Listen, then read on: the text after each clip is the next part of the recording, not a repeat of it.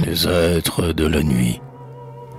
Les êtres de la nuit, les êtres du jour ont longtemps partagé mon âme, tour à tour. Les êtres de la nuit m'ont fait craindre le jour. Car les êtres du jour sont triomphants et libres. Nulle secrète horreur ne fait vibrer leurs fibres. Ils ont le pas marqué de ceux qui naissent libres. Les êtres de la nuit sont lents, passifs et doux.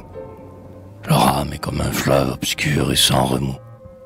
Leurs gestes sont furtifs et leurs rires sont doux.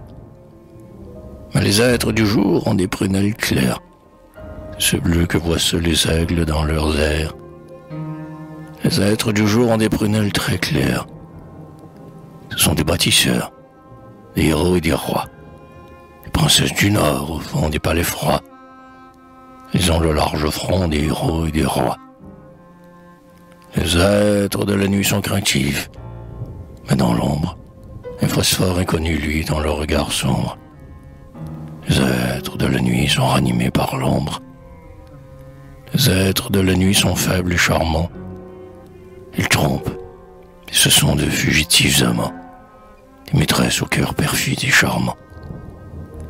Le souffle d'un baiser cruel emplit leur bouche, et leur pas se dérobe ainsi qu'un vol farouche. On ne boit qu'un baiser décevant sur leur bouche.